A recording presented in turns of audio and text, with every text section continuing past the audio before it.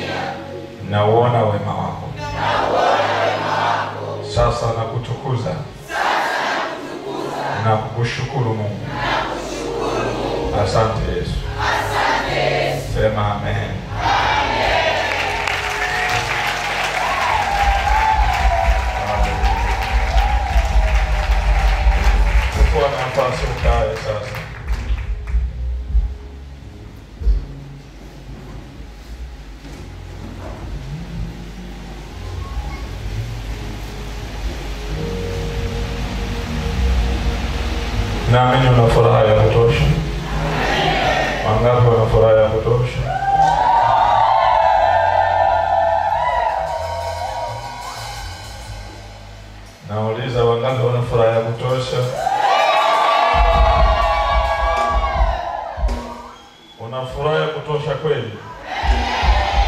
Hebu onyesha tuone furaha yako ya kutosha.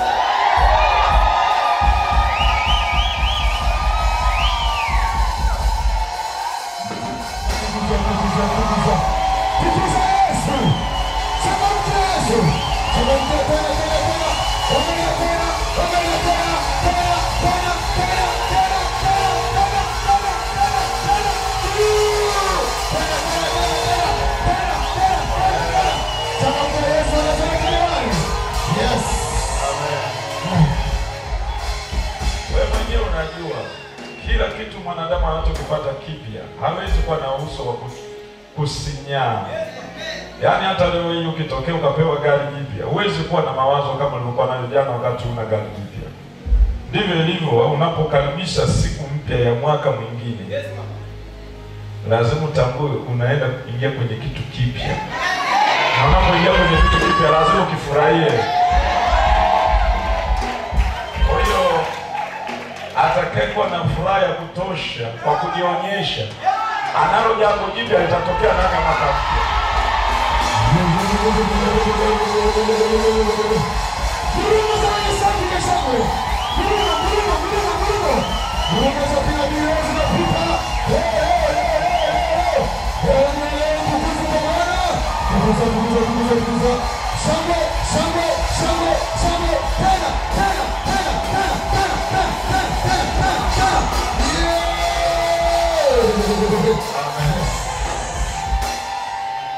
Sisi hatuendi kulingana na mazingira ya kibinadamu, tunaenda kulingana na lile neno la Mungu linalokuja kwa wakati huu kwa ajili ya jambo. Kwa hiyo kama tunalitambua neno la Mungu, lazima tuchangamke. Yesu alipowakaribia wanafunzi, alipoona wanaogopa, akasema changamkeni, ni mimi. Amen. Kwa sababu walipokuwa kwenye chombo walikuwa peke yao.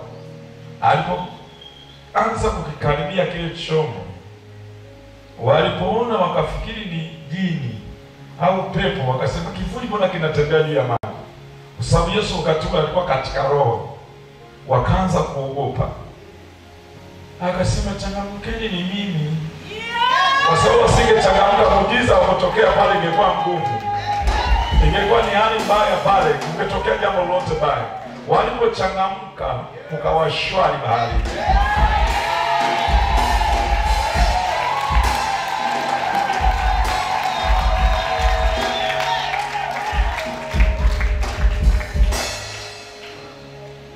na mtu yoyote aliyebarikiwa, yani aliye na Mungu ndani hawezi kukana na huzuni, maana Mungu achanganyi baraka na huzuni,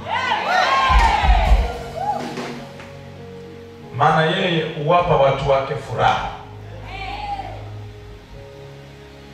Sasa mwangalie jirani yako, umekujaje? Umekuja hapa na huzuni au umekuja umechangamka? Maana pia na huzuni hutakiona unachokuwa umekijia lakini ukitaka kukiona kile ulichokijia furahi, kwa sababu umefika mahali ambapo unataka ukione kile ulichokijia.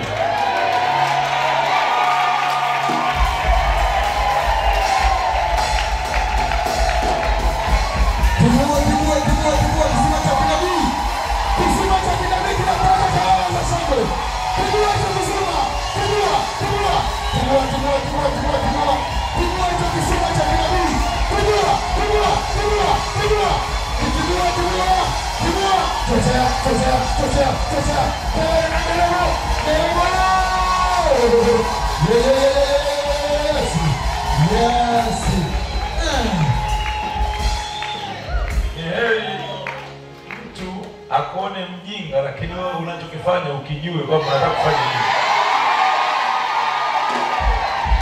kwa sababu katika milango ya imani haiwezi kuonekana mbele ya waelevu kama ina kitu, lakini milango ya imani huonekana ndani ya watu walio na imani. na wakati mwingine mtu wa imani anaweza kuonekana kama mjinga, hana akili, lakini matokeo atakapotokea, kila mtu anakubali kwamba kuna Mungu. Nataka kukubalike wewe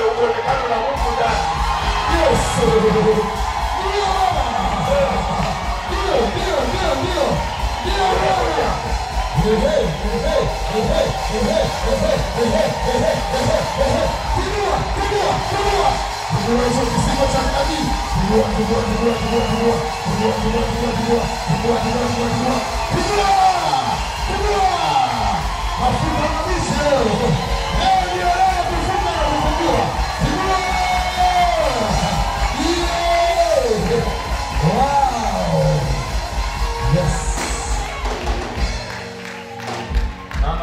mwaka unaoanza. Ukawe mwaka mwingine wa historia ya maisha yako.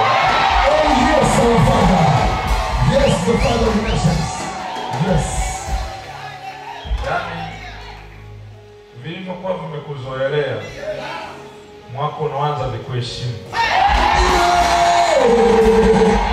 Unapokea maana kabisa, na ukumbuke, nishakwambia baraka hii haiendi kwa, kwa mkupuo kwa watu wote, ni kwa moja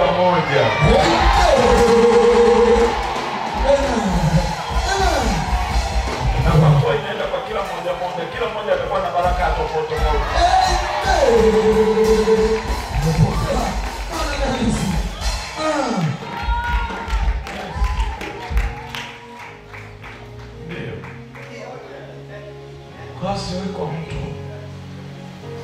Atakayekuwa na kutisha ukashindwa kuonyesha imani yako. Ukikuta mtu anakutisha, usitishike, mwonyeshe wazi kwamba huogopi, si ndio? Maana kuna kitu unakijua unachokifanya, na hiyo itakuwa imani ya kweli, italeta baraka ya kweli.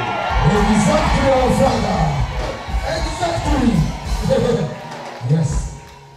kwa sababu mwaka huu unaanza wa ishirini na moja sio mwaka wa sisi kutembea na wasiwasi.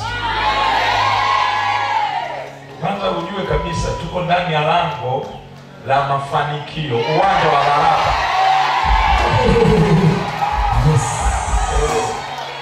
Kwa kama tuko ndani ya lango la mafanikio, ndani ya uwanja wa mabaraka, basi hamna atakayetutisha. tutatembea huku tunaelewa tunachokifanya, Amen. tutatembea huku tunanena kwa lugha, Huku tunaona malaika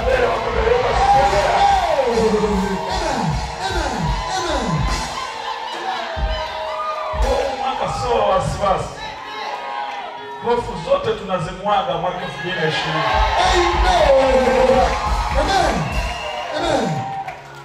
Huu mwaka unakuja ishirini na moja ni wa viwango vya miujiza na maajabu.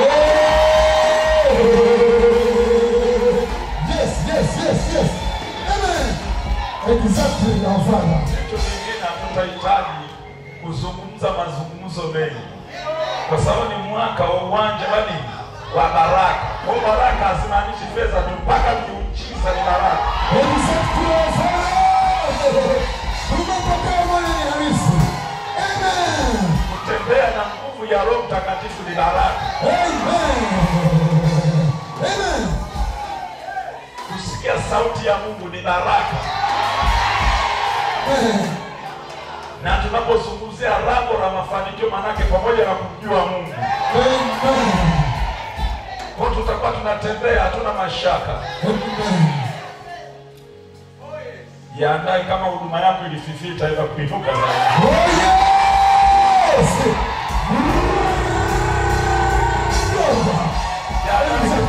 ambacho kieleweke, kinaenda kueleweka.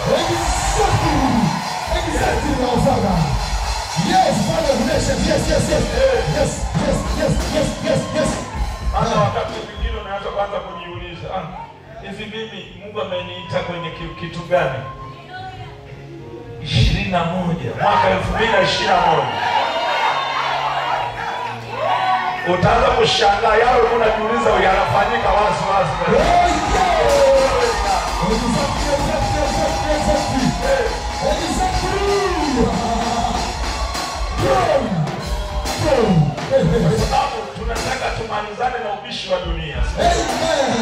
Tunataka kuonyesha dunia. Kuhusu Mungu anavyotenda.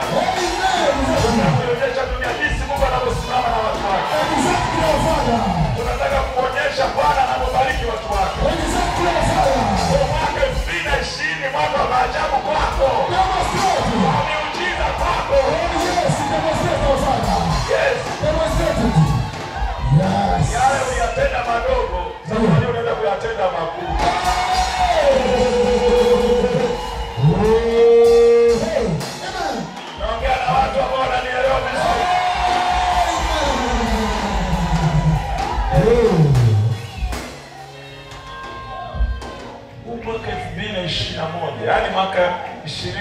Moja ambao uko mbele yetu, sio muda mrefu.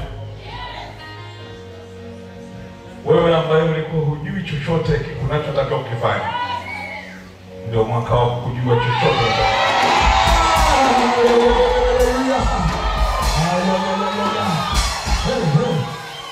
kwa sababu unaponisikia hivi ninavyoongea, na maanisha uko ndani ya lango la mafanikio, umeingizwa kwenye uwanja wa baraka.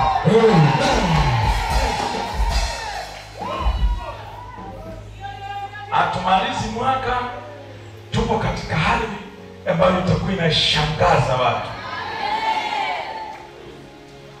Tutakapokaribia kumaliza mwaka, pengine tu wengine tutakuwa tunasauliana sura zitakapokuwa zimebadilika na uzuri wake.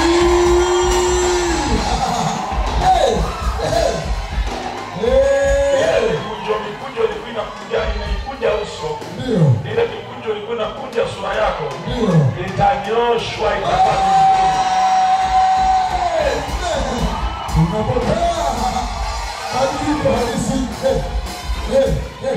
Ule uzee tulikuwa tunakuona nao, ndio utatoweka, kwa sababu kuja inaleta uzee.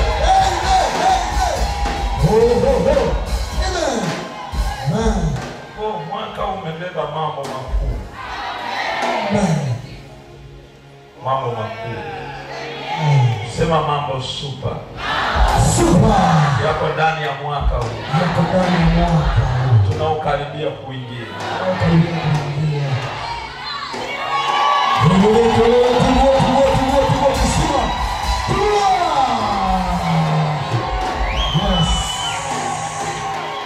Ah, ndio maana nimekwambia furahi, utakiwa kuwa na huzuni ya mwaka 2020 tunatakiwa na furaha ya mwaka 2021. Amen. Mwaka unaobeba miujiza mingi kuliko miujiza mingine yote.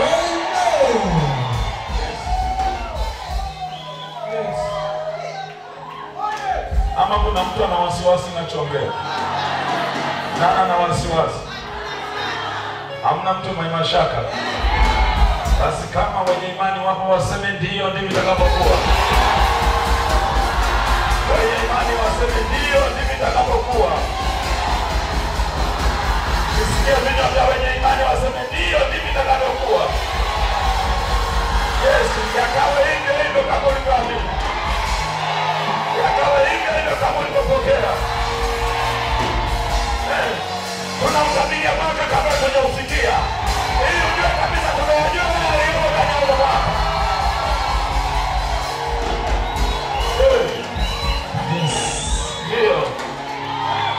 kwa sababu hata Yakobo kabla hajafika kwa mjomba wake aliyaona yale atakayokuwa. Bwana aliyasemea mapema kabla hajaendea. Oh, Alipofika alifanikiwa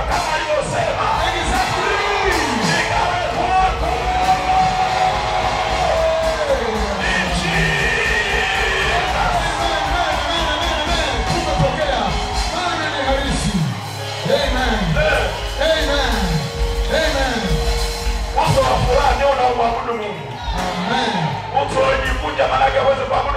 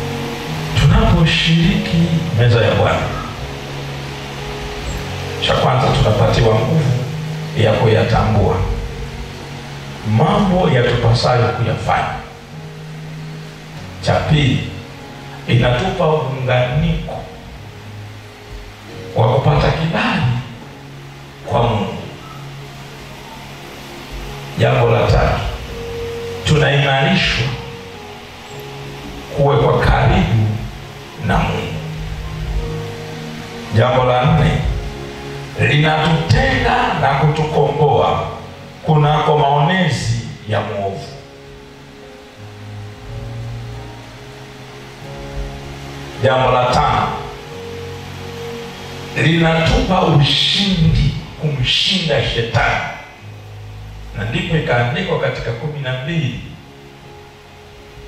Kitabu cha Ufunuo. Mstari ule wa kumi na moja. Anasema nao wakamshinda kwa damu ya mwanakondoo na kwa neno la ushuhuda wao, ambao watu hao hawakupenda hata watu walikuwa tayari hata kufa.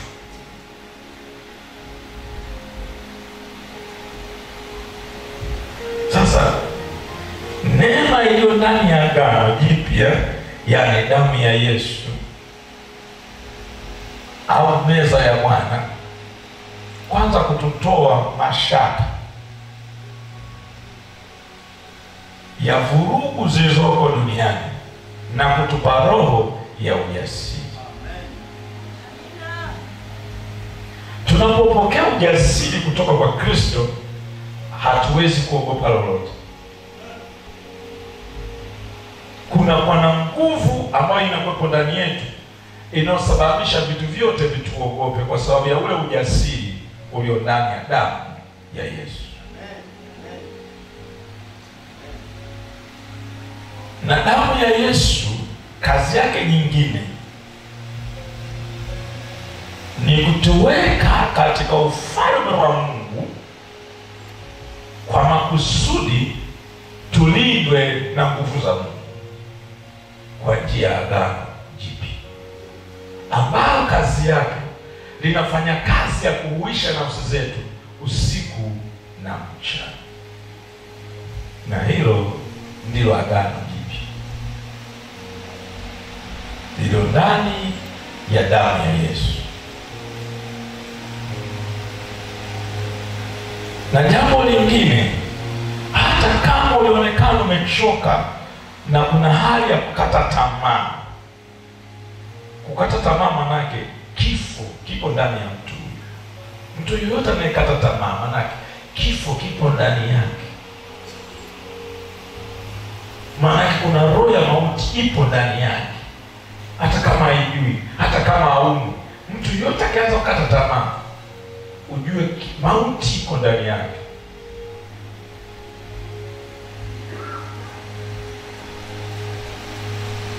Sasa damu ya Yesu ishiriki inahuishi na kupa nguvu ya kuishinda ile mauti, hata kama ilikuwa imeshashika sana nafsi yako kiasi cha kwamba umeshaonekana basi uwezi jambo lolote, yenyewe inafufua upya, kwa sababu ndani yake kuna roho ya uzima. Naongea na watu, naongea na watu, naongea na watu. Yes, alafu inaponya magonjwa ya mauti.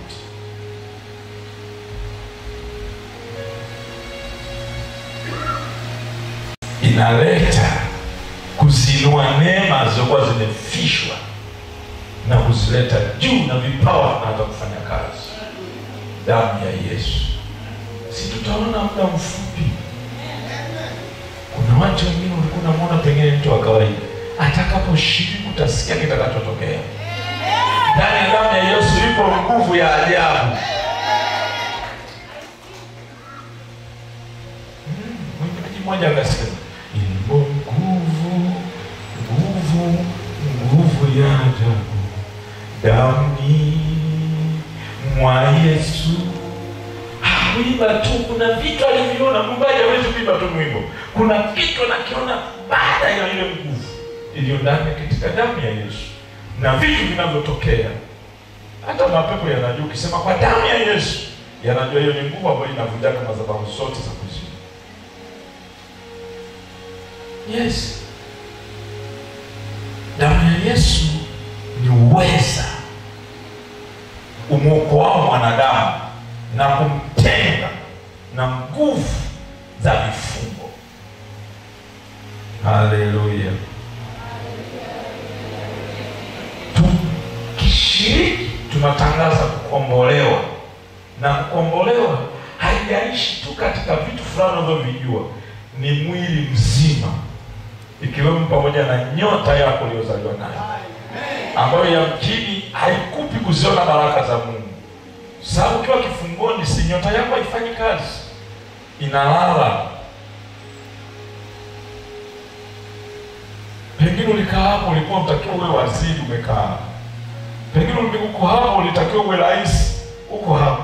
Pengine ulikuwa hapo, ulitakiwa mhubiri mkubwa, lakini uko hapo kwa sababu ya nyota yako iko chini ya mateka. Lakini nasema jioni ya leo utakapounywea huu mwamba huu, kutakuwa na kufunguka juu ya kilichofungwa, kutakuwa na kufunguka juu ya kilichokuwa kimetekwa. Maandiko yanasema walipounywea ule mwamba, wakahesabika kuwa wana wa na mwamba unatazamika kama nguvu ya agano iliyo ndani ya Yesu. Wakaanza kutembea jangwani wakiwa na nguvu, hali walikomelegea.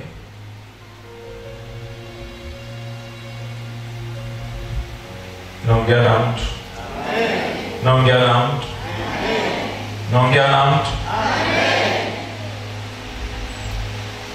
Unaona mwenyewe, huu ni mwili wa Kristo na damu ya Yesu. Upo kwa ajili yetu, kwa sababu umetolewa kwa ajili yetu, kutukamilisha, kutuleta karibu na Mungu, kuziona njia zetu zile tulikuwa hatuwezi kuziona.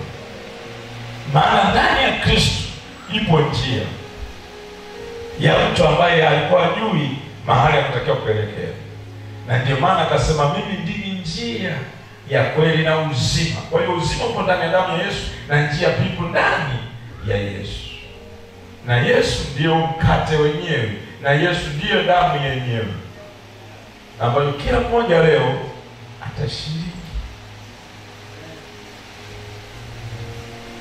Ulikuwa kipofu kwa ajili ya kuona macho, yatafumbuliwa macho yako. Hey. Maana unaweza ukajikuta umejichanganya, umeenda kwenye makanisa kusali kumbe mahali yako ni lango la mashetani. Lakini ukiwa na macho ukiona tu unasema hapa sio pahala Macho si yanakuonyesha kama hivi ulivyotoka kule, umetembea, si umefika hapo, umekuja kanisani, lakini usipokuwa na macho unaweza kukuta umeingia shimoni. Haleluya! Natangaza juu ya watu wanaenda kufunguliwa macho. Natangaza juu ya watu waenda kufunguliwa neema zao. Natangaza juu ya watu waenda kupokea uponyaji. Natangaza juu ya watu waenda kupokea baraka. Natangaza juu ya watu wanaenda kuinuliwa. Natangaza juu ya watu wanaenda kupata kibali. Yes. Basi kila aliye na imani aseme amina kweli ndani ya moyo wake.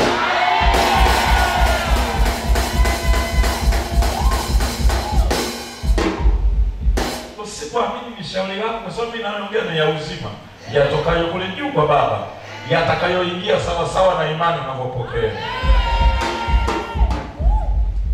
Kumbuka hapa simbili mtu, na mhubiri Kristo ambaye ndio leo tunataka kukumbuka hii jambo, na tukumbuke kama historia, tunakumbuka kama halisi na kweli, kwa sababu tumembeba mwenye yuko hapa sawa sawa. Eh, ujue yuko hapa sasa hivi. Mwenye shughuli yake asiwepo. Asipokuwepo kwenye shughuli, huwezi ukafanya shughuli, utafanya shughuli gani? Hivi kuna harusi yote mtu anaweza kufanya harusi yako ana harusi na harusi haipo? Inawezekana?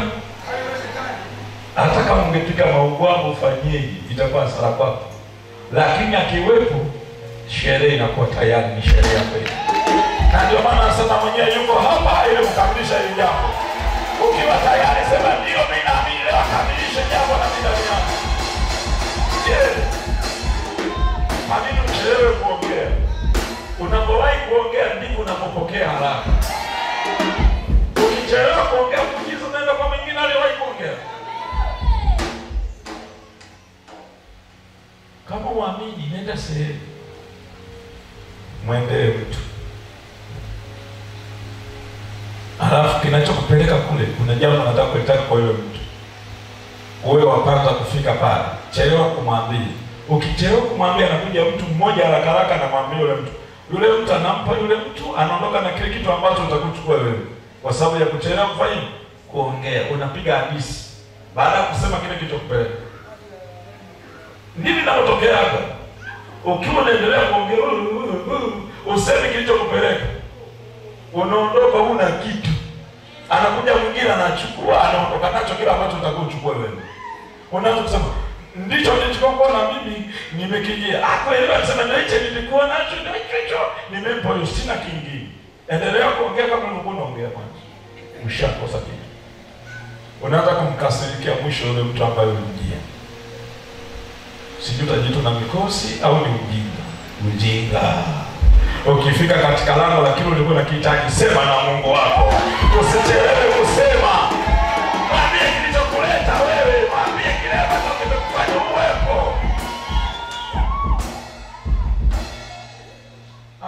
Hakushinda hata yule ambaye alitumwa na Abrahamu kwenda kule haraka. Yule akasema msinicheleweshe, si kwanza mpaka niseme. Aliona kichelewa, atatokea mtu amekuja kumchukia Rebeka haraka haraka kwa mbele ya macho yake, akasema hamna cha kwanza niseme kwanza, ndipo takula haya mambo ambayo ameniandalia. Akasema nimekuja, nimetoka kwa Abrahamu,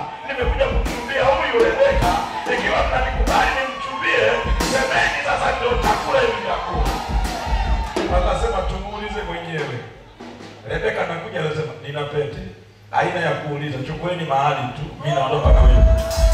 Haleluya! Nataka wewe na wewe Bwana fanya jambo kama la baba. Nisiweko jambo la kujiuliza uliza akutendee leo.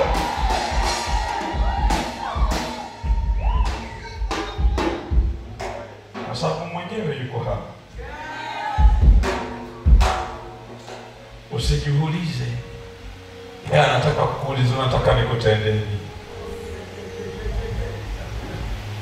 Haleluya.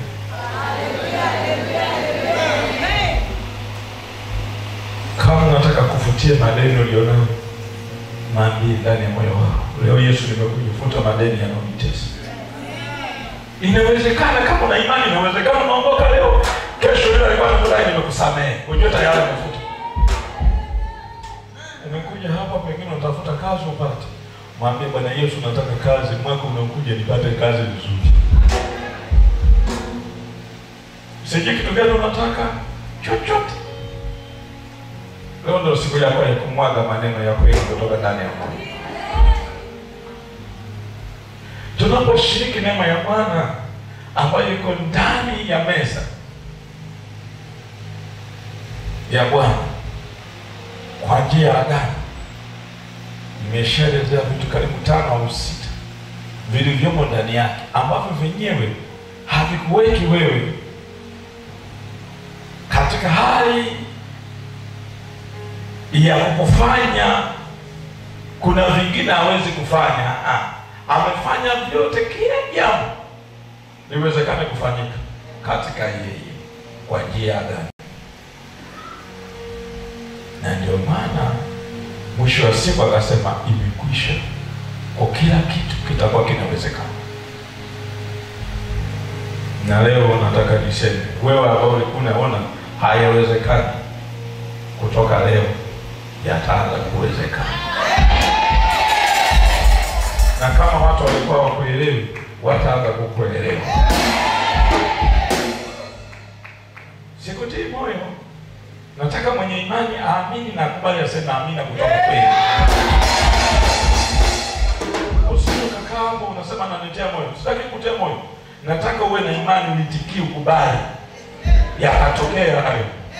Lakini ukikubali kuitikia kutia moyo, no, usiniitikie kama na- unasema nakutia moyo, ukae kimya kama una, unaona mimi nakutia moyo, lakini kama una imani sema ndivyo, yakawa hivyo, kwa sababu mwenye imani neno la Bwana lina ukweli ndani na linafanya maajabu yake.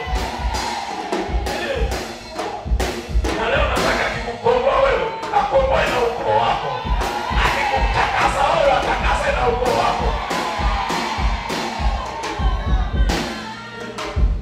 na natamani sana mpaka yule mtu ulijua anakufa kesho, ukishiriki meza ya Bwana, yule mtu ukakuta naye amepona. Ukiwa na imani, pokea akapona huyo mtu. Eh, changamka, usizubae. Kama hapa una mtu ambaye anaumwaumwa, pokea ponyo sahi, pokea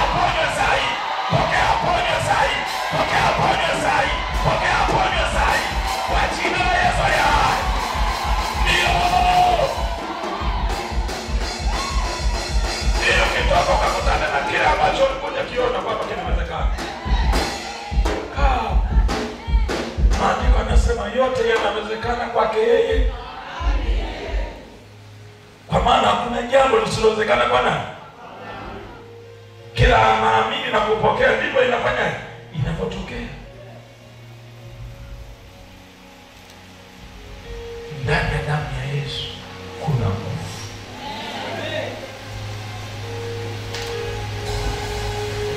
na uzuri ndani ya damu ya Yesu kuna neno, sema neno. Alafu hiyo neno ndio inayofanyikaga muujiza, maana muujiza wake unakuja katika mwili, na ndipo linatimia lile neno analosema, ulituma neno lake ili lifanyeje? Liponye na kuokoa. Mwenye imani anasadiki. Kuna mwenye imani anasadiki? Kuna mtu mwenye imani anasadiki? Nataka leo sadiki utoke na muujiza leo. Soft. Hatutakuwa na muujiza ule wa kung'ang'ana magumu. Muujiza soft. Hmm. Mungu sio mzimu kwamba uji uji ujing'ang'anize mpaka jasho zikutoka. Haleluya. Mungu sio mzimu. Mungu ni mwepesi, ukimwongea naye na haraka haraka anafanya. Mzimu mpaka sijui ufanyeje, ujikatekate, sijui urukeruke. Lakini kwa Mungu anasema Bwana, fanya lile litakalofanya utukuzwe. Anafanya mambo ukiamini. Mzimu waamini, usiamini, lazima ufanye kazi, urukeruke kama walivyofanya siku za Elia. Akawaambia haya, uiteni wakawa na mkaruko wanajikatakata wanajikatakata, huu mzimu mbona uitiki? Mwisho wa siku Elia anasema hamna kitu hapo, huko akasema tu, ee Mungu wa Abrahamu, julikana leo kwamba wewe ni Mungu kuliko huyo waliokuwa mwita. Fanya maajabu yako hapa, ili leo kanisa hili lote likujue. Kiulaini tu moto ukashuka povu, wakasema huyu ndio Mungu, huyu ndio Mungu. Akasema kabla hujasujudu zaidi, nikamatieni mia nne na hamsini ya manabii, nataka niwakate vichwa waache kuongea uongo. Haleluya, haleluya. Kwa Mungu ni.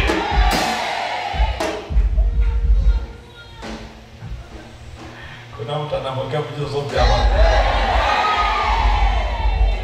Kuna mtu anaamini kupokea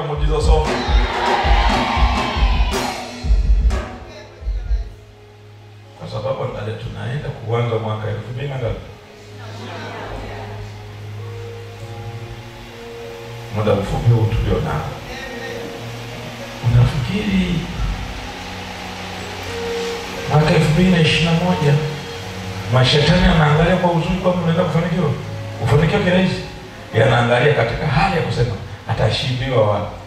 Sasa mimi nataka nikwambie, yaambie mashetani, sema nyinyi mashetani, mwaka elfu mbili na ishirini na moja sio mwaka wangu wa kushindwa.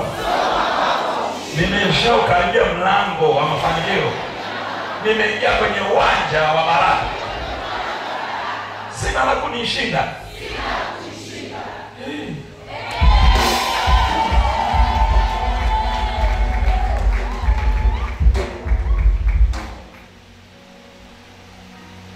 Umekiri vema? Umeamini? Nataka unapokiri huu naamini. Sitaki mtu anayekiri kwa kusema namfariji, sinyenye kwa ajili ya kufariji, na sitaki upokee ukiwa unafarijika. No, ukiona unafarijika, nyamaza kimya, waache wanaoamini, ili kesho wakishuhudia uwatamani, utamani na wanavyovionyesha. Kwa hapa hatuhitaji kutembea na watu wanaofarijika, tunataka kutembea na watu wanaoamini Mungu kweli na ukisema pokea, wapokee katika imani kweli, wakitoka hapo wakaone mambo yao waliopokea. Kufarijika mwisho mwaka elfu mbili na ishirini tena huko nyuma kabisa, sio leo. Leo tunapomalizia tunapokea kwa kwenda mbele. Asiweko mtu wa kukuharibia imani hapa. Ukikuta apokee wewe, mwache mwenyewe, ujue huyo mfarijiwaji atakuja kufarijika hapa. Tufarijiane hapa tumekuja tunataka tutokee mwaka mwingine, ili nikisimama nikisema leo naimba jimbo niime mpaka viti vitikisike, kwa sababu ya ule uwepo wa Mungu katika uimbaji. Yes, nikisema nataka nihubiri nihubiri mpaka nione vitu vinanyanyuka juu.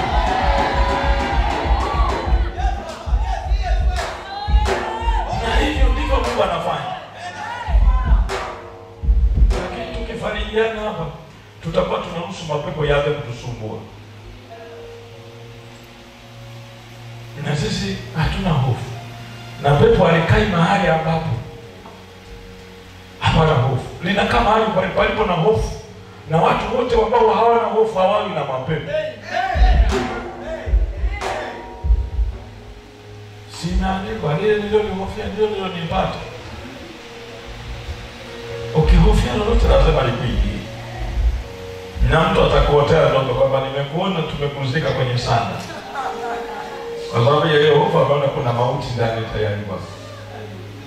Hebu ondoka huko, sema nina ujasiri katika Kristo, ninayo nguvu iliyoshinda mauti, inaishi ndani yangu, hivyo hakuna kitakachonishinda.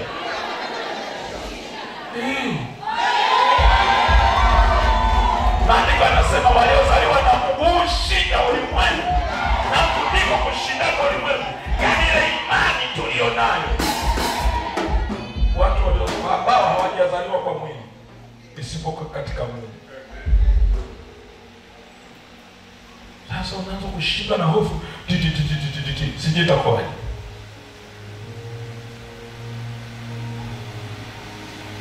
Leo ni siku nzuri kwako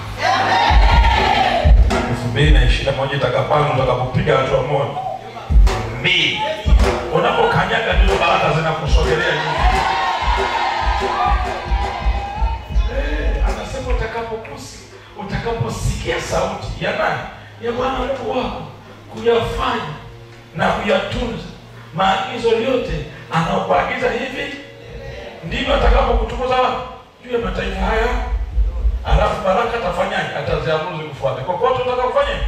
utakakwenda. Lakini baraka haziwezi kukufuata kokote unakokwenda, una hofu ndani. Hebu mtazame jirani yako, ondoa hofu.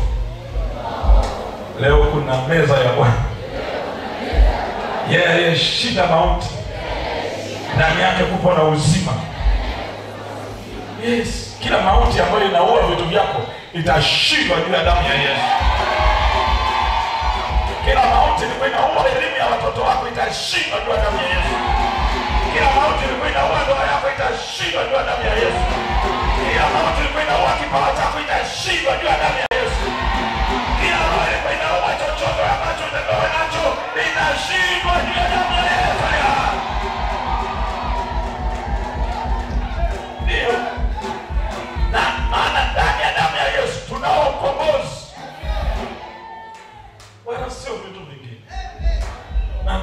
natangaza kwa ujasiri, kwa sababu najua inavyofanyaga kazi. Ukitoka hapo utakuwa mwingine kabisa. Wengine utanena kwa lugha kutoka hapa mpaka unafika nyumbani kwako.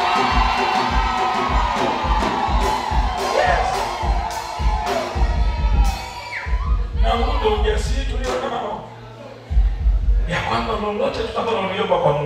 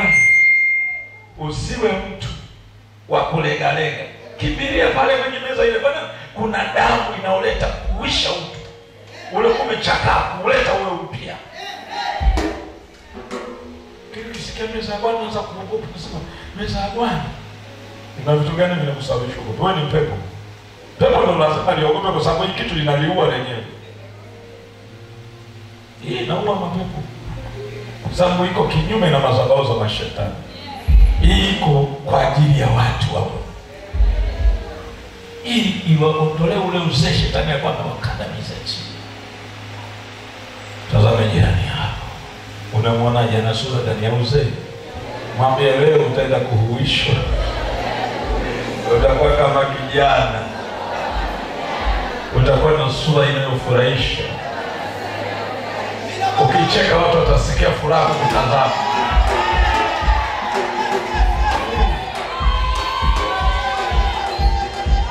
Yaani hata kama meno yalibomoka umeamini neno la Mungu, hata kama meno yalibomoka bomoka yaliondoka, umeamini neno la Mungu, yataota tu. Jiandae, kama yalibomoka, mwamini Mungu atayaotesha upya. Kwa Mungu hakuna lisilowezekana, ni imani yako tu. Ndio kama yalibomoka bomoka, yalitoka yote, ulibaki na na meno mawili ya kuhesabika, Bwana atayaotesha upya. Amini, kama unaamini kubali, sema ndio Bwana fanyeni. Kama unaamini sema ndio Bwana naufanyie hivyo kwangu. Haiwezekani wewe meno yako yatoke mapema kabla hujakula hata vitu vizuri. Maana mwaka huu unakuja, jiandae na wewe uwe na vitu vizuri. Haiwezekani tukupe kando kashindwa kula kando za mikoani. Na usipokuwa na meno utatafunia wapi kando? Waanze kutafuta kinu ugenini, utafanyaje? Nitoke kande kidogo. Hao wanakupa mnofu wa nyama za jamani, kanipa nyama mimi sina bei. Niazimeni kinu. Meno yaote kwa jina la Yesu. Bwana kuoteshe meno yako kwanza hivi sasa. Wewe ambaye meno yaling'oka mapema. Maana wengine wanang'oka wakiwa bado, hata wengine hawajazeeka yanang'oka haraka.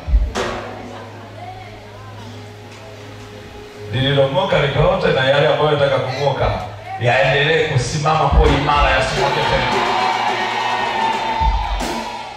Ndio, kuna sasa tutataka tule nyama zilizokaushwa. Utakulaje wewe ambao una meno? zimekaushwa, maana zilizokaushwa hazina mchuzi, zimekaushwa kabisa. Hapo napewa kula, sema. Kula.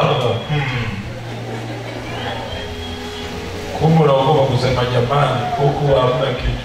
Usiyaone ya hapa nimeweka yale ya kuchomeka ya bandia, maana ya bandia huwezi kutafunia nyama, utaanzia wapi? Ukitafuna yatabaki kwenye hiyo nyama. Haleluya upate ya Yesu Bwana, yatakayoyota aliyokupa nayo ndani ya damu ya Yesu. Kuna miujiza ambayo inashangaza pia.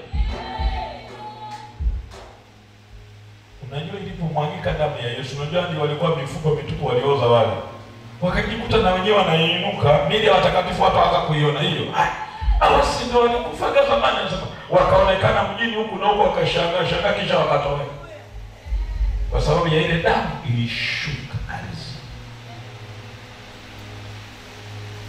Kuna muujiza jamani, hata kwa wewe ambaye una miaka nenda rudi, karibu unazeeka na unaanza kuona kwamba takufa lini, hujawahi kubahatika kuwa na nyumba.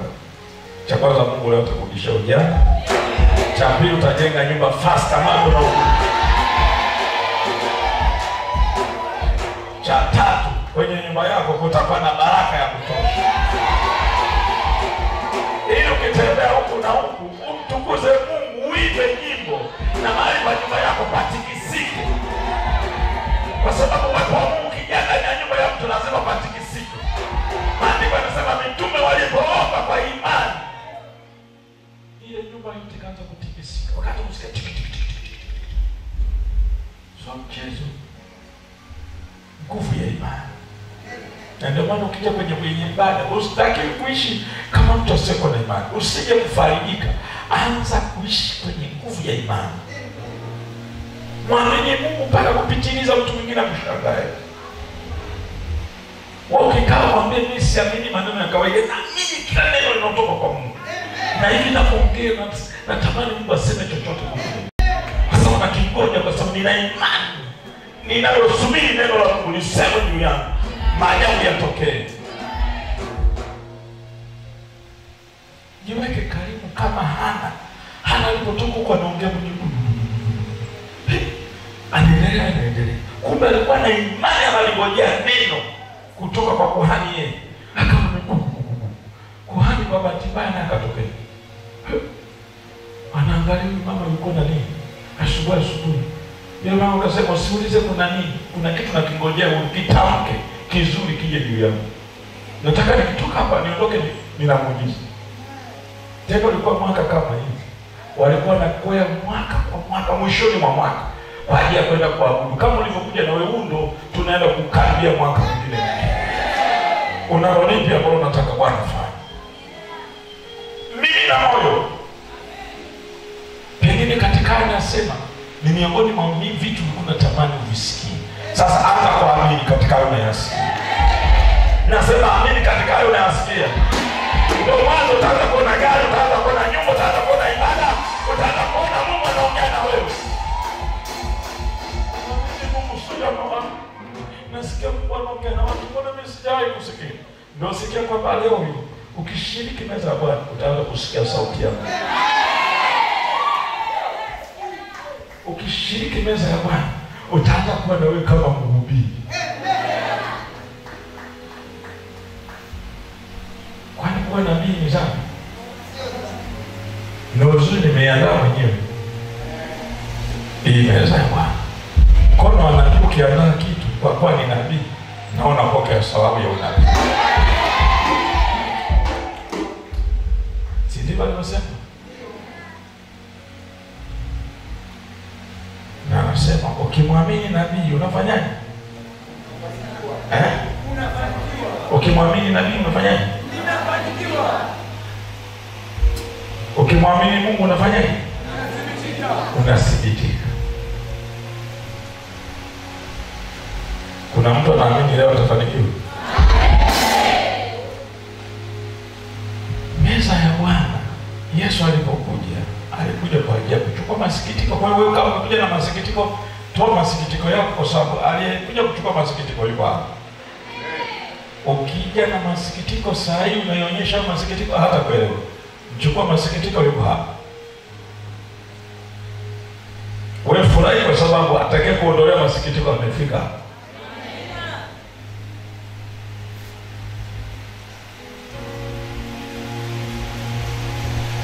Nimesema mwaka unakuja wa mambo mapya, mambo mapya kwa mtu kuchana. Huduma yako pia lazima ikawe mpya. Nyota zitamustiwa zitaanza kuwaka upya. Watu walikuwa wakuelewa, wataanza kukufuata na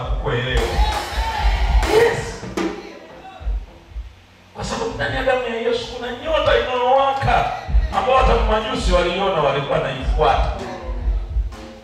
Walipofika wakasujudu, wakatoa zawadi, wakatoa dhahabu, manemane, uvumba, sijina mtu gani, na mambo ya fedha yakatolewa. alafu pia natamani sana ukiwa na imani. Pamoja na neema yote utakayopokea ukawe na mafanikio pia mm, ukawe na utajiri, kwa sababu ukiwa maskini, nilisema kila saa, unakuwa ni ngumu kuabudu Mungu, unakuwa unachanganya vitu. Baada ya kuabudu, unaanza kuwaza wali ambao umeacha kwenye kabati, kama sijui takuta umechacha, utakuwaje? Mwenye mafanikio hajali, akikuta umechacha, anatupa jalalani, anapiga mwingine. Sasa wewe unawaza kwa sababu ulinunua kilo moja hata kwenye kikapu hujabakiza hata mchele wa kuiva kesho. Unaweza ukikaa hapo unawaza hivi, nikitoka hapa nitakuta bado upo au utakuwa chache, Na vile friji lako pengine halipozeshi, umeliwasha umekipasha siku tatu, utakuko salama. Kiporo chako nimetoka hapa kwenye ibada kwa sababu ya hii, lakini na neema, ukawa na ukawa na mafanikio, uwaze kiporo, kwanza huwezi kula kiporo. Unasema hivi, siwezi kula kiporo, yuko tayari angalia angalia zile tambi aliziacha kwenye friji yake na soda yake, asubuhi apike vitu Sasa ole usiwe na vitu, hata kama kimechacha utalazimisha siku hiyo kisichache, unasema kijachacha, kuna mshika ni kinatoa jina nini, mapovu, unasema hakijachacha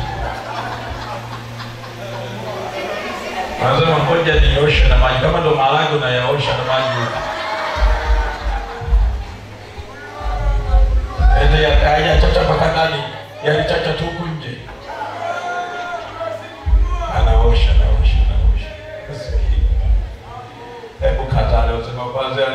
maskini ataendelea kutembea na mimi. Sema maskini hatatembelea na mimi. Huyo roho wa maskini ataendelea kutembea na mimi. Niko katika lango la mafanikio. Na niko ndani ya uwanja wa baraka. Ambao Abrahamu alibarikiwa kwa huo, ambao Bwana alimwambia angalia huku, angalia na huku, angalia na kule, uone jinsi palivyo. Unaonaje? Abrahamu akasema, Bwana, mahali pote hapa naona ni uwanja wa baraka. Kainama akajenga na madhabahu ndani yake ndivyo ikawe kwako kuanzia leo kwa maisha yako yote kwa jina la Yesu aliye. Yes. Huu ni uwanja wa mafanikio, uwanja wa baraka.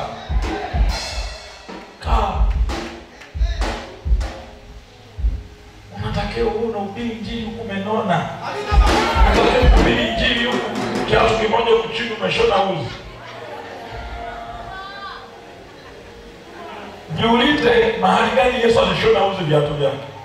Jiulize ni mahali gani Yesu vazi lake alishona uzi, mpaka wale waliokuwa wanaling'ang'ania ile vazi wakataa kuangalia wapi pameshona Alijashona mahali popote, limefumwa hili. Ni la ajabu, tusilichane. Wakapiga kura, tumpe nani, tumpe nani, wakampa mkuu, mkuu wa maaskari, naye akasaka wazawaza, vazi ni la namna gani? akasema akayapigia kura mavazi yangu yaliyokuwa ya kitaji. Maana hata mfalme Herode hakuwa nalo, wala Pilato hakuwahi kuwa nalo, Kristo tu, na walio ndani ya Kristo ndivyo wanavyokuwa ni wengine. Maana alivyo yeye na na sisi tulivyo. Wangapi wanaamini? Wenye imani waniitikie vizuri Wenye wanaamini kwamba hiyo Kristo na sisi ndivyo tulivyo. Waitikie vizuri, waitikie vizuri, kwa maana ndivyo itakavyotokea kwanza hivi sasa.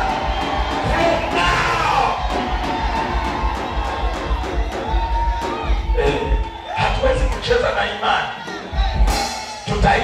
imani na kuitendea kazi imani, kwa maana ndivyo tupeleka mahali tunapotaka kwenda. Hatutakwenda kwa sababu kuna mtu fulani, tutakwenda kwa sababu yupo Yesu aliye mfano wa sisi, aliye kama sisi. Kwa njia ya imani ndiye anatupeleka kuyafikia yale.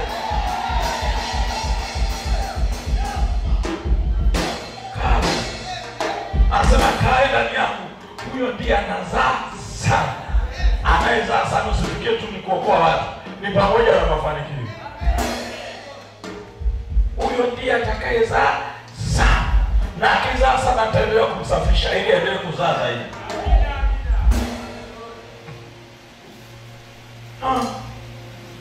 Ondokana na injili ambazo mhubiri wa ndani yake hamna imani. Furahia injili ambayo inaleta ndani yake kuna imani, maana injili isipokuwa na imani hamna kitu. Unakuwa kama unatiwa moyo huyu unasema mpendwa, nataka nikutie moyo. Unamtiaje moyo mtu? Unatakia avione vitu Kama anataka kutia moyo na kelele kwenye sehemu zile za washauri wanaotiaga moyo watu kule. Kuna watu wako special katika serikali wanaotia moyo watu. Wale watu ndio wataalamu wa saikolojia, ndio watia moyo wale. Kwenye injili ya Yesu hamna kutia moyo, ni kweli tu, na katika kweli kuna miujiza ya kweli hapa. Ndio maana nimesema ukija hapo usije ajili kutiwa moyo, na ukija kutiwa moyo ni heri uende nyumbani kalala. Hapo unatakiwa uwe na imani. Chochote kinachoongelewa kuhusiana na roho wa Mungu, sema kiwe hivyo hivyo, na kiingie ndani yako, kilete matokeo, kwa sababu tunataka kutoka huo utakaporudi uje na ushuhuda, useme na- nampenda Bwana. Unajua siku ile baada ya nilipotoka tu asubuhi, maajabu maajabu gani? Tunaona wanaingiza ni funguo ya nyumba, funguo ya gari, una tiketi ya pali kuende sijui wapi kufanya kazi ya Mungu kwa upali Ulaya. Unaambia vyote hivyo sio mimi nimekata, halafu pia na kitabu hichi kinanionyesha ni hoteli gani inaenda kufikia. Unaangalia ukuta hoteli ni classic five star, alafu chumba unachotaka kulala ni vile unalala hata viongozi marais. Hey, kwani ilikuwaje? Kwa hivyo imani sinatake tuamini hivyo. Kuna wengine hawaamini makuu, wanaamini madogo, na wanaamini madogo ndio wanaotaka hayo yatokee, alafu kesho anaanza kutamani mtu huyo mambo yake yamekuwa makubwa. Mm. Unachoamini unaamini, ndio hicho hicho kwa sababu nguvu ya uweza wa kufanyika vitu ipo kwenye kutamka kwako. Ukitamka mabaya ndio yanatokea, ukitamka mazuri ndio yanatokea. Ukitamka kwa udogo ndio yanatokea, ukitamka kwa ukubwa ndio yanatokea.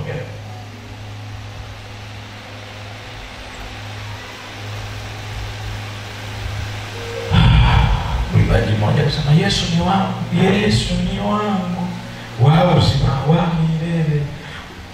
Ukitafakari usiimbe tu, tafakari huyu mwimbaji na mwandishi wa wimbo aliona nini. Pengine kuna mahali atakakufa, alisema Yesu niokoe, alipona. Na mm, Yesu ni wangu wa uzima milele. Kila wimbo na usiku imbo utafakari. Hata ukiona wametunga waimbaji hapa, anza kuwaza ni roho gani alimuongoza, kuna kitu gani ambacho Mungu? Alikuwa anakifanya wakati mpaka wimbo ukamwingia yule mtunzi wa wimbo. Maana wimbo hawezi kutunga mtu, ni roho analeta kulingana na wakati huo ambao Mungu atakuziisha kitu, ili wakiimba ule wimbo ulete miujiza kwa wale wanaimba, alafu wanaamini huo wimbo, sababu kama unaimba uamini, hamna matokeo. Na ndio maana kuna wengi wapumbavu kwenye nyumba zao, ametulia na ghafla anaanza kusikia Roho Mtakatifu anampa wimbo anauchukulia kawaida, haamini. Nikasikia tu wimbo nikafurahi tu.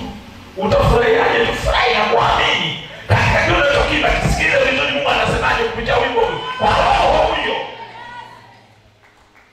Usiwe mjinga, uwe na muda wa kutafakari. Ghafla umekaa unasikia wimbo, roho anauleta, usianze kuchukulia kawaida, tunafurahia tu. Furahia kwanza, yajue anao anasema alafu yaweke kwenye imani, ndo uimbe vizuri katika kuamini kwako, sawa na unavyosikia wimbo unavyoimbwa kwa kutafakari.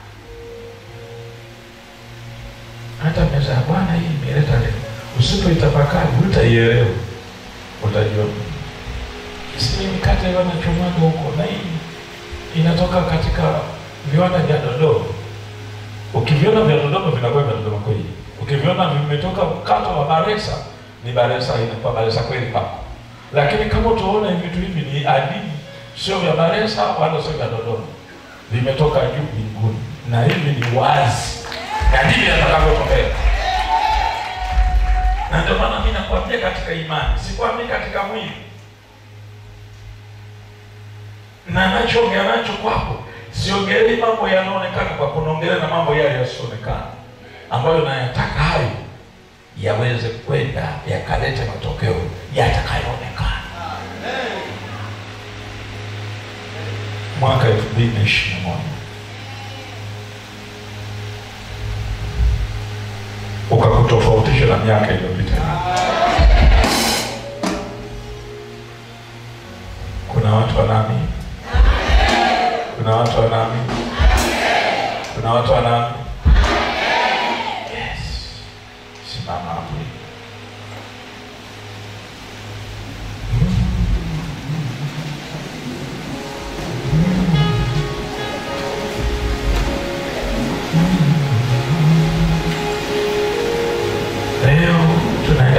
Kutengeneza historia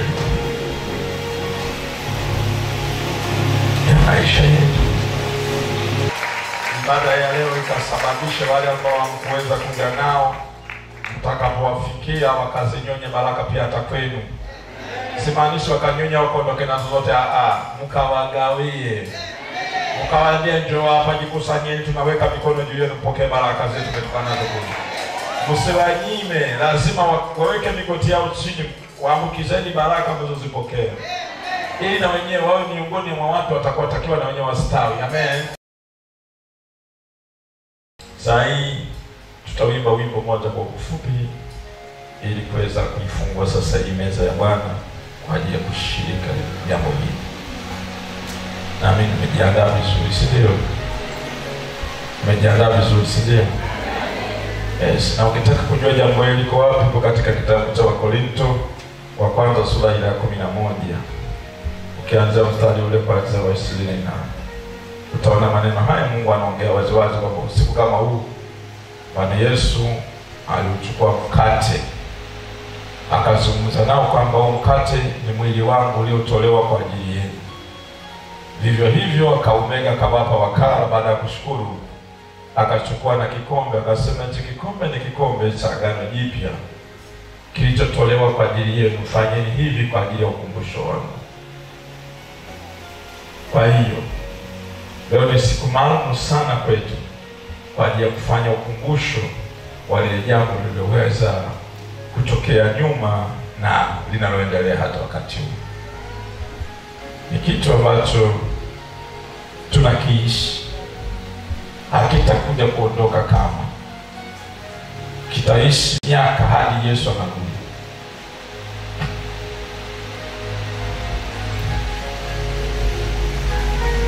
Tutakwenda kuimba wimbo dogo kidogo, alafu kisha tutakwenda kuingia kwenye baraka hii ambayo Mungu ametupa jioni ya leo.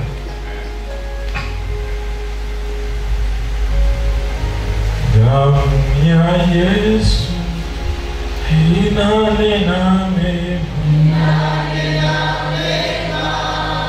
Damu ya Yesu inanena mema. Damu ya Yesu inanena mema.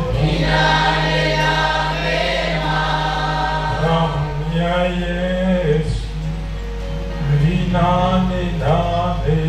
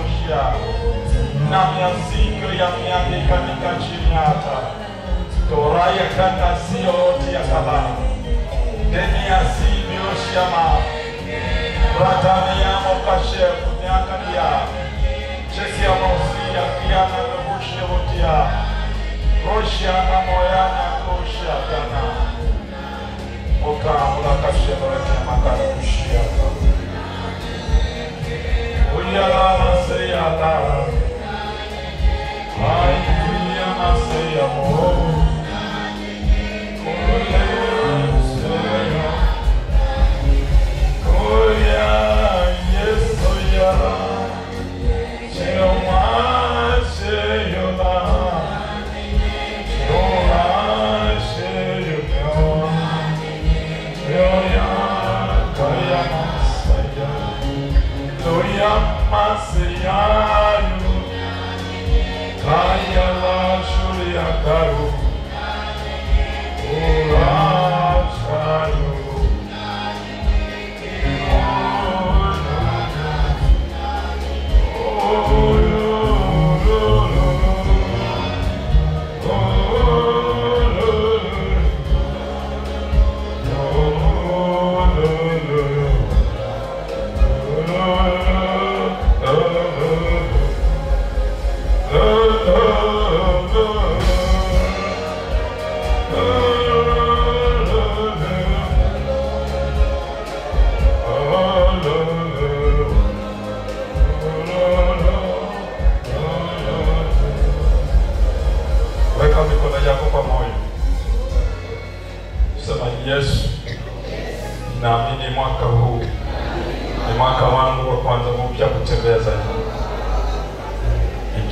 jambo lolote lilibaki pamoja na mabaya yangu yote niliyokuwa nayo, ukanisamehe leo na kuniondolea. Ninapokiri kwa kinywa changu na kuomba unisamehe, ukanisamehe leo kweli kweli. Ukanionyesha fadhili zako kweli kweli, na kuniondolea hatia yangu. Na kunipa kibali leo na mimi. Nikafurahia wokovu nilionao, ndipo nitakapokutumikia kwa nguvu zote na kuyaishi mambo yote uliyonipelekea mimi. Ninakuomba Mungu uniafutie yote ninapopenda kuanza upya na kushiriki meza ya Bwana hii, ukaachilie utukufu wa nguvu yako zitakazoleta leo badiliko juu yangu. Yesu, nakupenda Bwana, moyo wangu kweli umekuja mbele zako, nimeamini kwa kila jambo wewe ni Mungu wangu. isamehe nimeweka moyo wazi bila shaka, nimekuja vile vile ulivyoniona na dhambi na uovu ulivyoniona nao, ndivyo nimekuja hivyo hivyo. Kinywa changu kinakiri unisamehe, na moyo wangu na kuomba uniondolee dhambi, niwe msafi na kwenda kukubali kushiriki. Na kuamini kwamba ulikufa na ukafufuka, na ndani ya damu yako kuna uzima unaokuja ndani ya mtu. Nikubali na mimi, nisamehe katika kweli. Nimekubali kukutumikia, nitaishi kwa kufuata agizo na kutembea na jina lako na kukiri uwezo wako na kuyaishi maneno yako na kutumikia bila uoga na kuyakiri maneno yako kwa watu wengine, kuwawapa ushuhuda. Asante Sema amin. Pigia Yesu makofi yako. Shangilie Bwana kama umekubali kusamehewa.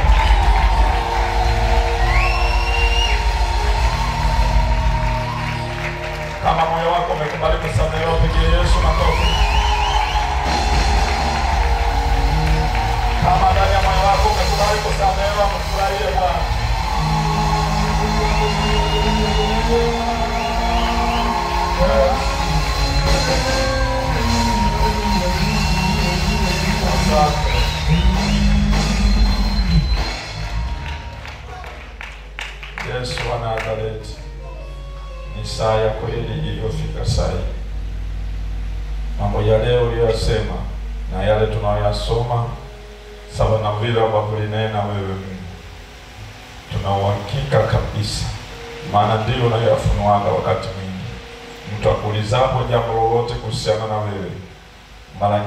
nyingi unatumia neno lile lililoandikwa katika kitabu kitakatifu, na hayo nasi ndiyo tunayafuata kama yalivyonena katika vitabu vyote vitakatifu vinavyokuhusu wewe Mungu. Ninakuomba saa hii ya watu wako, tunakwenda kushiriki kuhusu mwili na damu iliyotolewa kwa ajili yetu. Na kuomba Mungu, kuna watu wako wameamini pia, watakaposhiriki kama ambavyo wamesikia ulivyoniaminisha niseme juu yao, maana yale nimeanena ndiyo yale yale ulisema kinywa changu kinene leo. Ninakuomba Bwana Yesu, shuhuda huu haukuwa wangu bali ulikuwa ni wa kwako, ili tuzidi kutembea ndani ya neno na kwa nguvu ile ile ya ushuhuda itokayo katika kinywa chako. Ninaomba sasa vitu hivi viwe tayari kwenda kuonyesha uhalisi wa yale yote niliyoyanena kwa ajili ya utukufu wako. Kila atakayekinywea na kuula huu mwili akaone badiliko kabisa, na vile ambavyo alikuwa vijui, macho yakapate kufumbuka, akili zikapate kufunuliwa, na mambo yote ya roho ambayo Mungu yalisinya ndani yakaweze kuhuishwa upya. Ninaomba kwa neema itakayokwenda kuambatana na hivi vitu vyote kuanzia mkate huu pamoja na hii divai. Mungu, kuanzia saa hii ninageuza katika geuko lile la imani litakalokwenda kuonekana kwa uhalisi kwa kila mshiriki atakayeshirika, kwa utukufu wa nguvu zako, e Yehova. Amen.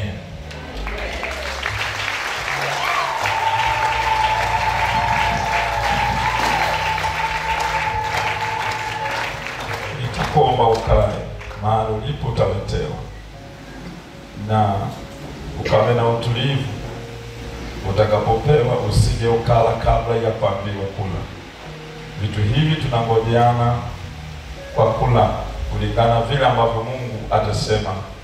Tutakisoma kitabu kile kilichosema maneno haya, na kisha ukiambiwa kula ndipo utakapokula. Ikiwa umekuja na mtoto basi ukawe na uwezo wa kumwelekeza namna kufanya, la hawezi kusikia, mshikie mkononi. Na kila mmoja naamini amenisikia.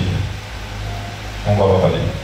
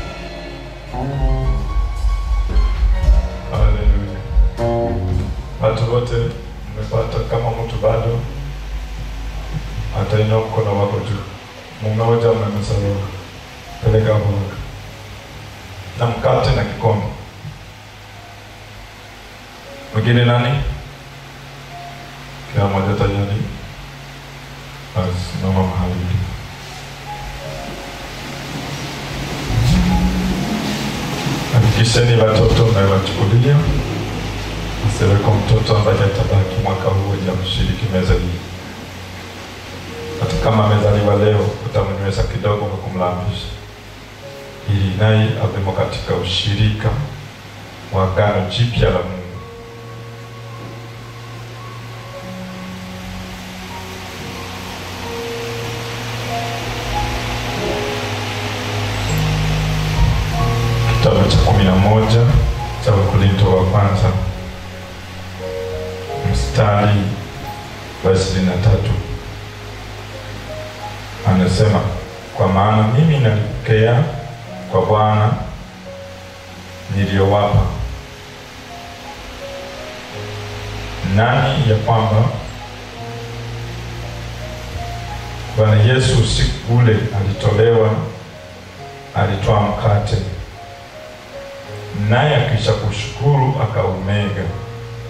akasema, huu ndio mwili wangu ulio kwa ajili yenu, fanyeni hivi kwa ukumbusho wangu.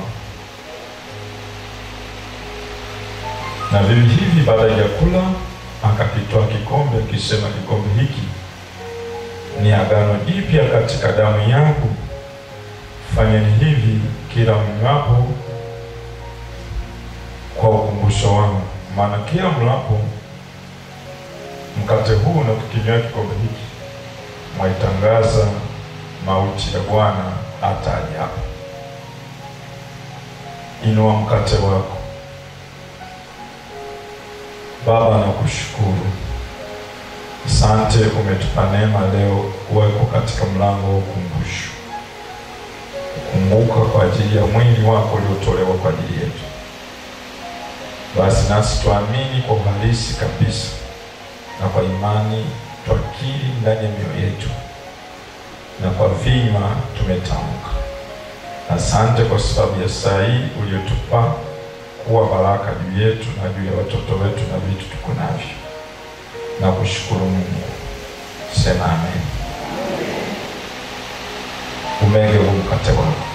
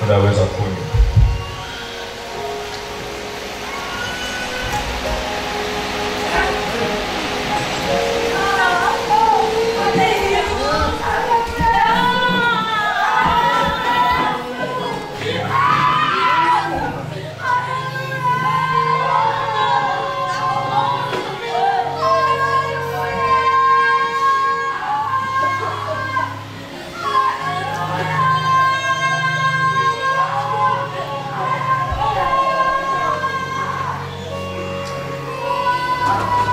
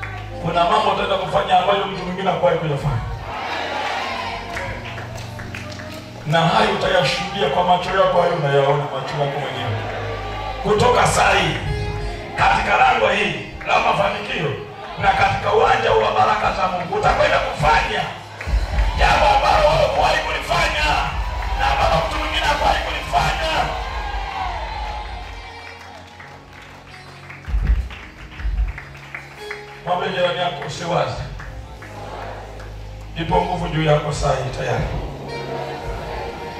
inaenda kufanya mageuzi ambayo hukuwahi kufanya. Mwenye imani aseme ndio.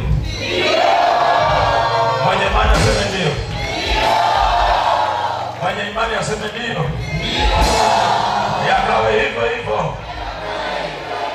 Yes.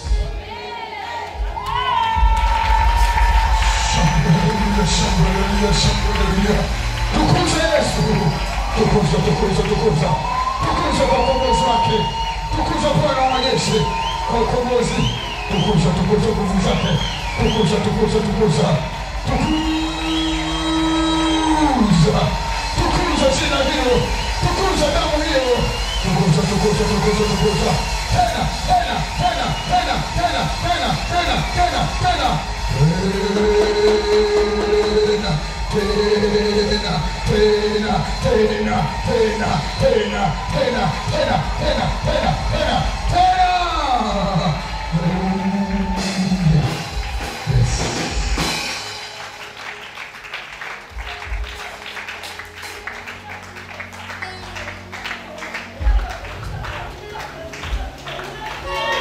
Omororo wa dene ya kwa lukude unadaiwa.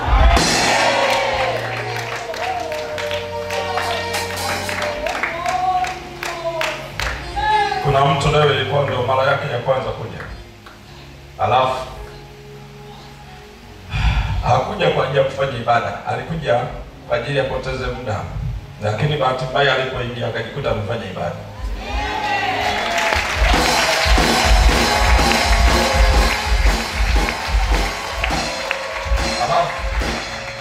Alikuja jaamini, sasa hivi ameshaamini, na kwa sababu Mungu amelizungumza habari ya mambo yake yale ambayo yalikuwa ndani ya moyo. Huyo ni Mungu wa mfalme amefanya. Amefichua, amefichua, amefichua. Funua roho ya Bwana Mungu aliye hai. Fukua, fukua yote. Haleluya. Haleluya. Haleluya. Yes. Exactly. Powerful. Mighty.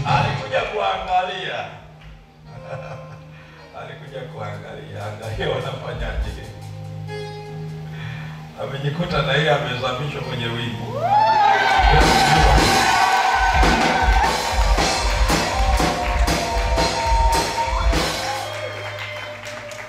Eh, yupo asingekuwa na aibu angekuja mbele, ila na aibu anaogopa kwamba ah, watasema ni mimi nilikuwa, lakini yupo na masikio yananisikia, anasema mtumishi ataniita, watufanyaje? Mimi siwezi ila nimekuambia wazi kwamba yalo likuja nayo Mungu aliyaona, ameyajua na amefanya makusudi kusema tu yale ambayo Tukuza Mungu Israeli, tukuza tena. Mwinua, mwinua juu. Mikono yako na shangwe nderemo.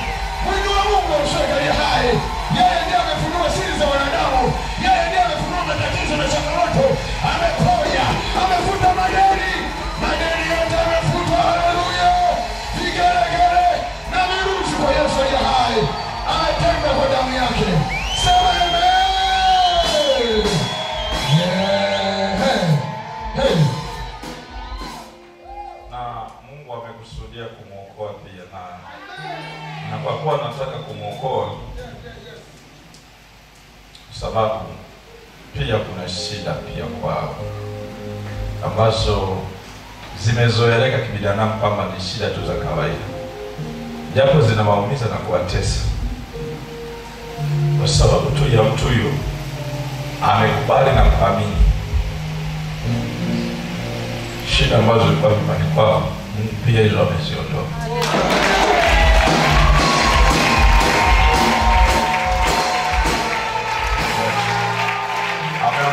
Sababu Mungu ana huruma, na akishaona moyo wa mtu umegeuka tofauti na vile ambavyo alikuwa yeye ana matazamio mengine, akigeuka Mungu ndipo humwonyesha maono na kumfungua yeye ambaye alikuwa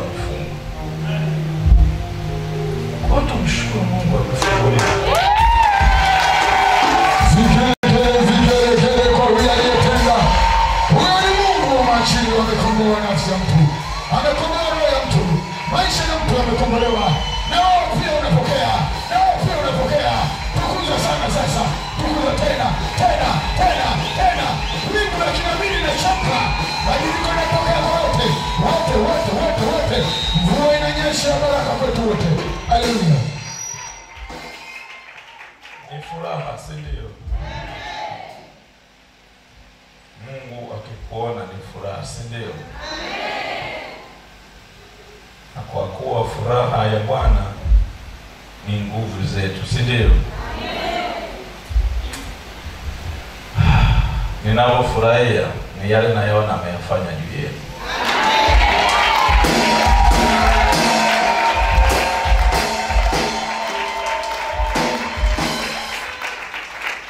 Asikujua mwaka huu kutakuwaje.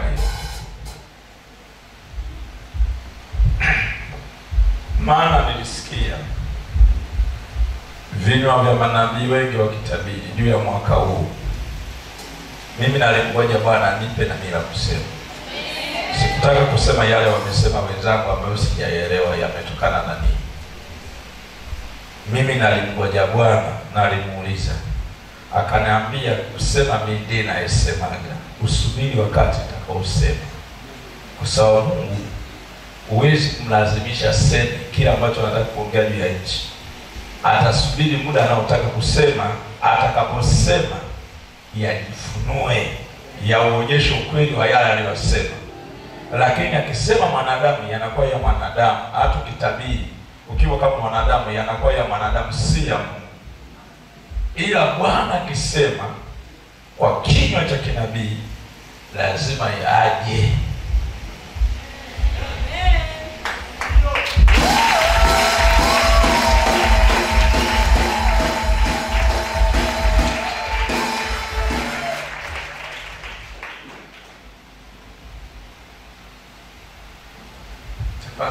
Kwanza baraka zinazokuja ni baraka zitakuwa zinafanana, ni baraka ya kila mtu itakuwa ya pekee pekee.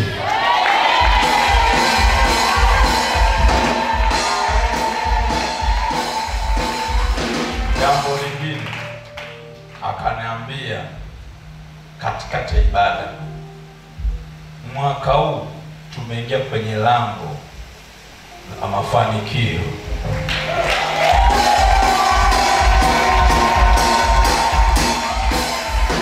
Jambo la pili akasema pia mmeingia kwenye uwanja wa baraka.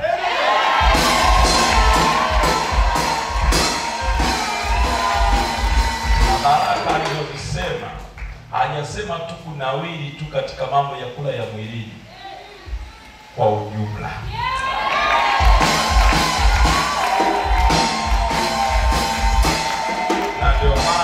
Maana nimewatangazia, ondoeni uoga, msiwe na mashaka juu ya Bwana. Anaenda kuwapa vitu ambavyo hakuwahi kuwa navyo ndani ya mwaka wa elfu mbili na ishirini na moja. Kutakuwa na vitu vya ajabu ambavyo utakuwa navyo wewe. Yes, na huyo ndio Bwana anayewapa watu utajiri. Hatuwezi kumtumikia Bwana huku tukiwa na mahitaji yanayosumbua. Lazima tumtumikie Bwana tukiwa na mahitaji yanayofanikisha safari pamoja na kumtumikia. Mmenielewa vizuri? Na ndio maana tunaona wana wa Israeli, Bwana kuondoa wakiwa maskini, aliwaambia wachukue vitu vyote waende navyo kwa wana wa Farao. Mungu anahesabu za mafanikio na anahakikisha mtu wake ateseki na apendi kumtesa mtu, sawa na kitabu cha maombolezo ya Yeremia.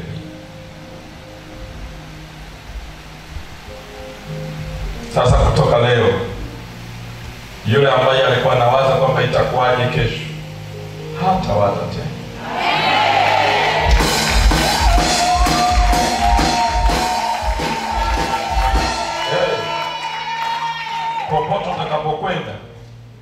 Kazi yoyote iwe ya kwako au ya kumtumikia Mungu, ukijisumbua kwa kuwaza, usije ukajaribu kafikiri Mungu atakuja kufanyia jambo. Maadamu umejisikia, popote utakapokwenda kufanya kazi ya Mungu, usiwe na papara ya kusumbuka juu ya vitu hivi. Muulize Mungu, hapa nifanyeje? Na kama ujui anaongeaga nini, wewe uliza tu, achana naye. Bwana ataleta jambo lile ambalo umeuliza ukaliona ukalifanyia kazi.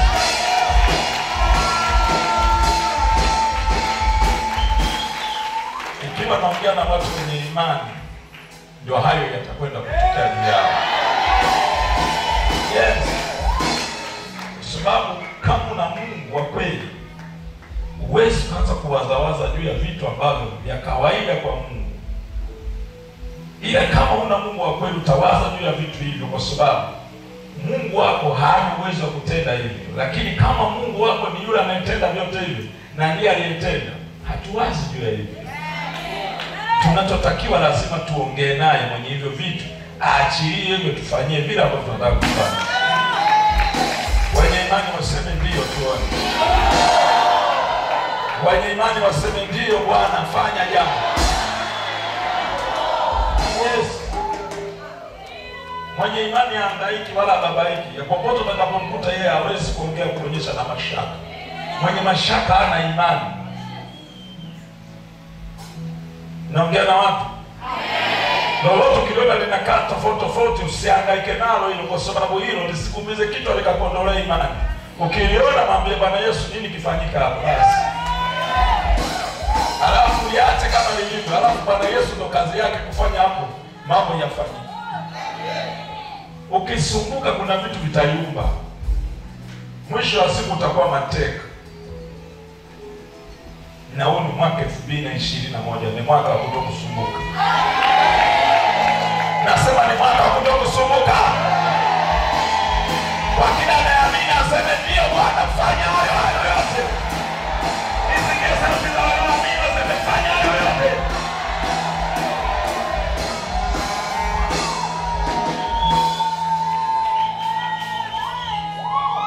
Kuna watu wenye wote wenye imani. Kuna watu ni waone wenye imani.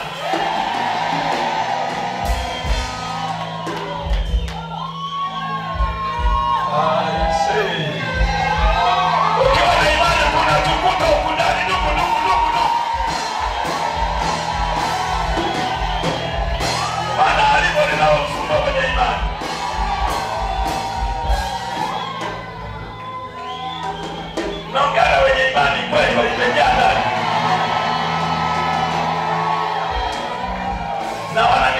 wananisikia nayoongea haya eh? Mwenye imani yaliko.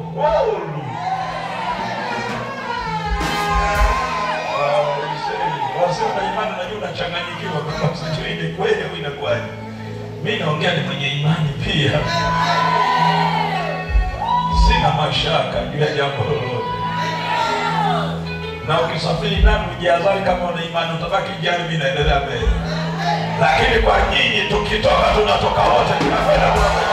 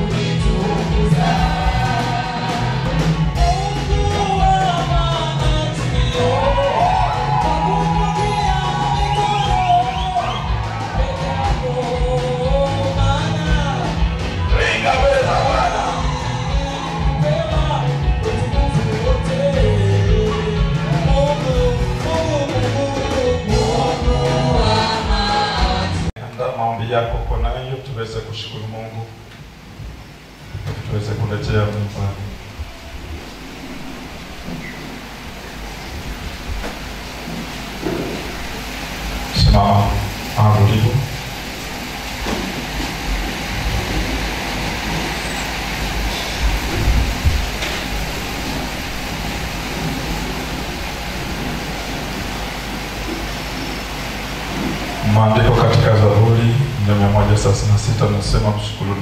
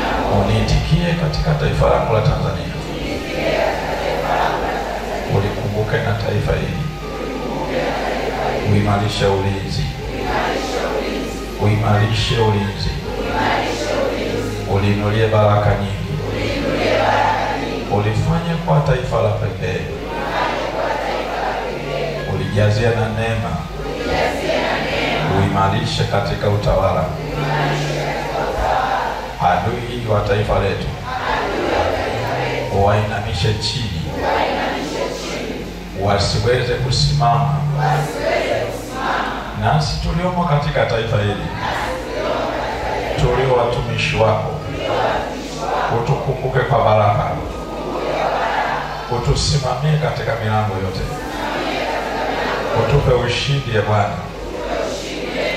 Tuzione baraka, tusipungukiwe na jambo.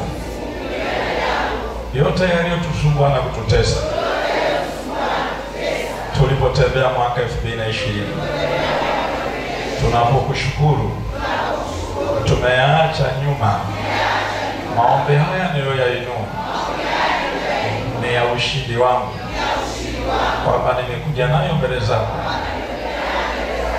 Mungu unayesawazisha na kujibu siku ya leo, adui hatasumbua tena, yawe magonjwa, maskini na tabu zozote ambazo shetani alikuwa anazitumia kunisumbua nazo. Mwaka huu ni mwaka wangu, nimelikaribia lango la mafanikio, nimeingia katika uwanja wa baraka.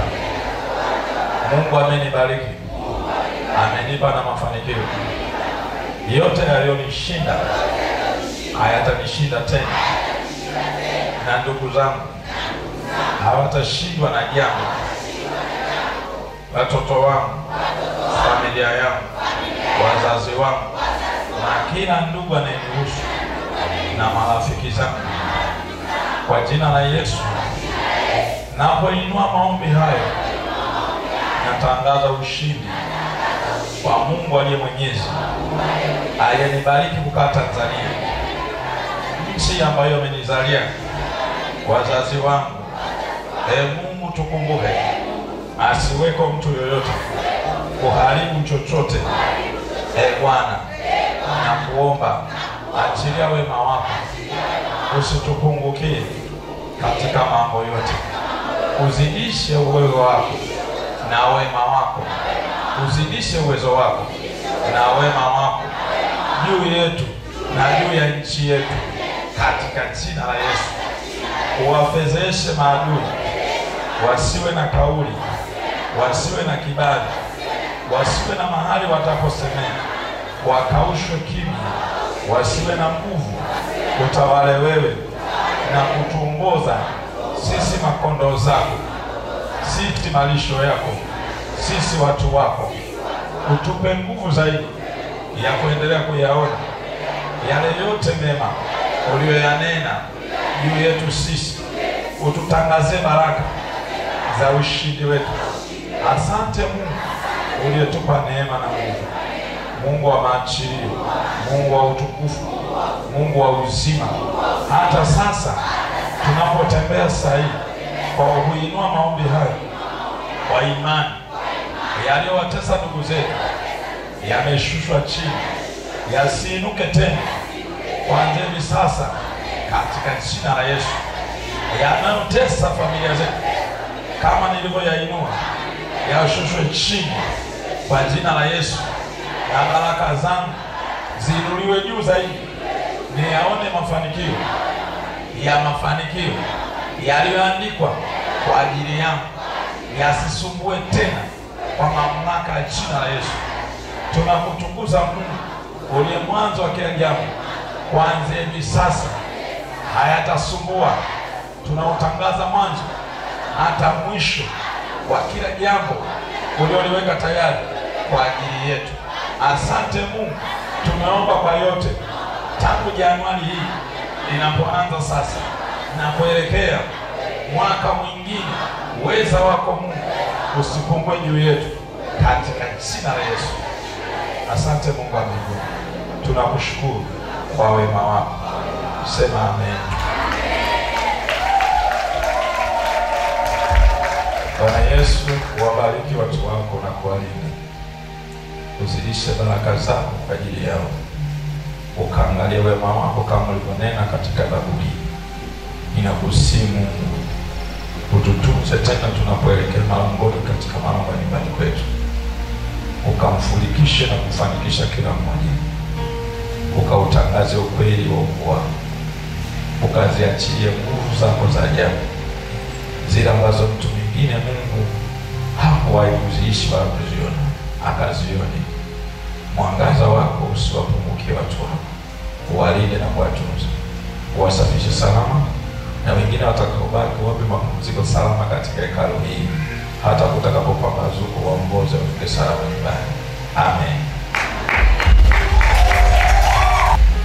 Bwana kubariki na Mungu akutunze neema ya Mungu isikupungukie. Nawapenda sana, asanteni kwa ibada, asanteni pia kwa kumwabudu Mungu ninayemtumikia pia. Mungu awabariki sana.